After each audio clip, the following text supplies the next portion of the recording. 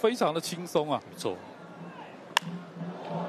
好，在第九局啊，裴瑞兹上来投球啊，面对到张仁伟啊，一个球让张伟张仁伟打成了左边方向的飞球，遭到接杀。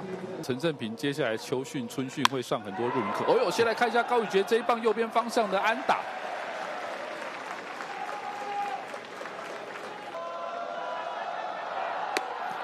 哇，这比较可惜，明显的坏球啊，四坏保送，一出手就滑掉了。嗯，裴瑞兹自己也是蛮懊恼的。